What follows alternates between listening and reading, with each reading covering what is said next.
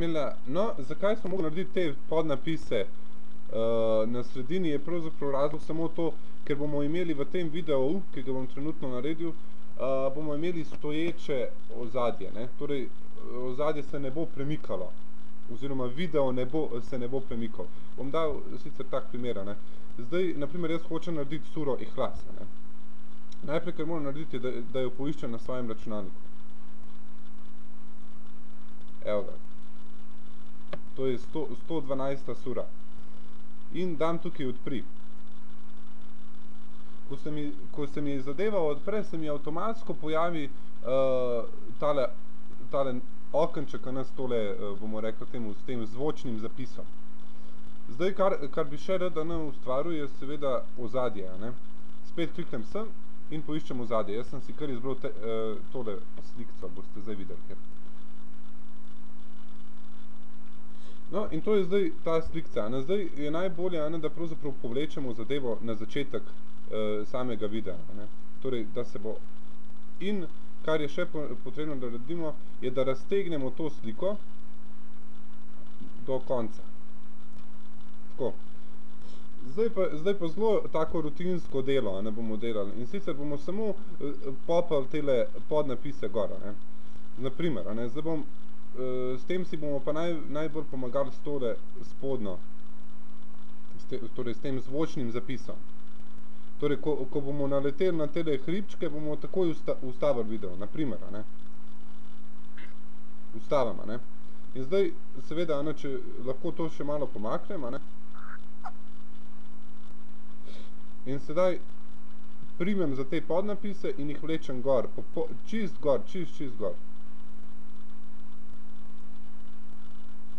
Se mi odpre to, zdaj pa kar je najbolje, ne, jaz seveda tako to delam, ne, uh, da imam v Wordu pač zapisano to suro uh, in jo že tukaj pravzaprav oblikujem tako, kot, mi, uh, kot bi želel, da mi izgleda v videu.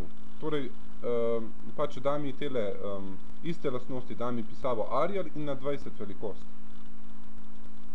In zdaj samo, kar delam, je copy-paste, torej kopiram, se vrnem nazaj, pa prilepam. Zdaj, še nekaj, kar, kar seveda lahko opazite ne, tukaj v videu. Ne. Lahko opazite, ne, da, da slika sama torej ni v velikosti ce, celega videa. To bomo seveda popravili.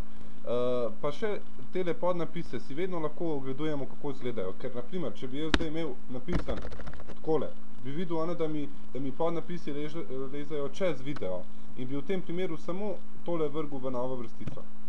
Pa enter. No, zdaj, kar bom naredil, ano, eh, vedno, pravzaprav tukaj ni zdaj neke, eh, bom rekel, temu tipke, ano, ker bom jaz zdaj pritisnil na OK, ampak samo eh, pač zaprem. In mi je že tukaj ano, naštimano. Zdaj, hočemo se seveda rešiti teh črnih zadev tukaj. Ane. To je seveda najlažje naredimo tako, da kliknemo sem, torej Event Pen Crop, in se nam odpre torej, uh, tole in samo tukaj uh, pri maintain aspect ratio zamenjamo na nov. In v trenutku vidimo, da se nam je tukaj tudi zadeva spremenila. Zapremo in nadaljujemo. Torej damo play.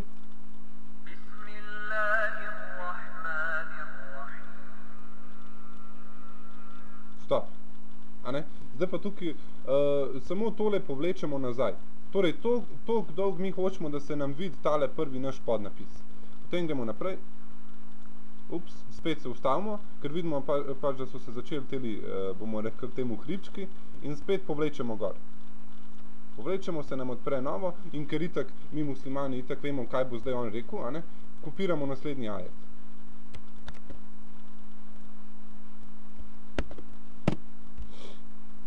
Damo x, play, stop. In zdaj pač uh, delamo tako rutinsko. Ne?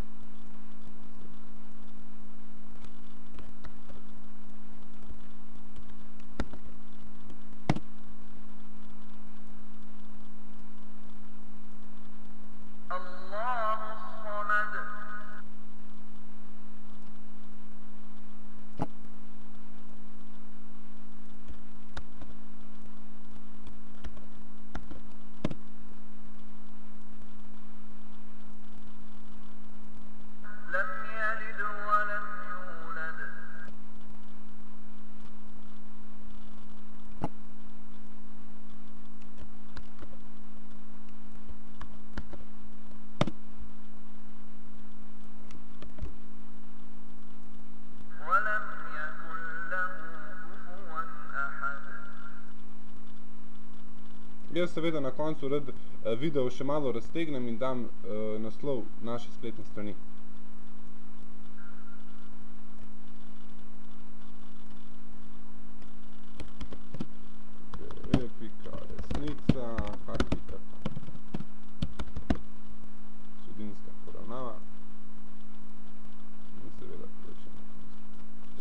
Zdaj na koncu, ne, zdaj imamo mi video pravzaprav narejen. Lahko si ga še enkrat ogledamo s klikom na tole tipko.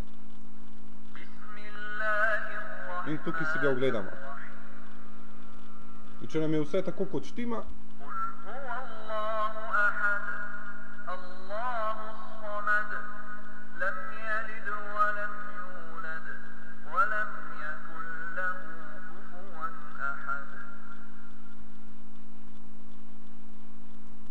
Okay. Torej, zdaj nam je vse tako, kot nam štima. Si bomo v naslednjem videu pogledali, kako se, kako se naredi video, oziroma kako damo ukaz, da se video pravzaprav začne delati.